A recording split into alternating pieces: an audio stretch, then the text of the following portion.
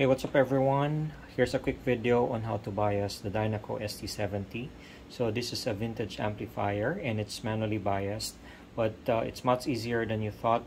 Um, all you need to do is uh, a few uh, items to bias it, uh, which is a flathead uh, screwdriver, a uh, multi-tester, and as you see on the Dynaco ST70, there's a bias point on the left and right channel.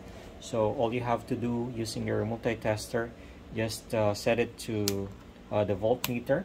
So uh, on mine, I set it to 20 volts and um, using the multi-tester, you have to plug the um, the probe to the bias point, right?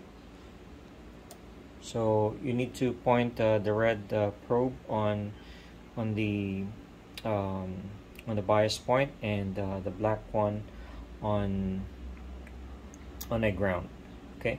So you need to set it to one point the optimum uh, uh, voltage is 1.56 so you need to set it to 1.56 and um, if it's if it's not uh, set to 1.56 you have to adjust it um, here.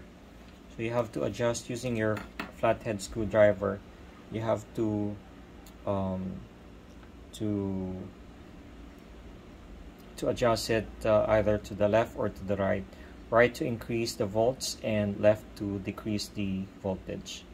And uh, all you have to do is set it uh, um, set it I mean uh, do the same steps to the uh, right channel and on the uh, Dynaco here's the uh, uh, the bias adjustment which you can uh, uh, adjust uh, using a flathead screwdriver.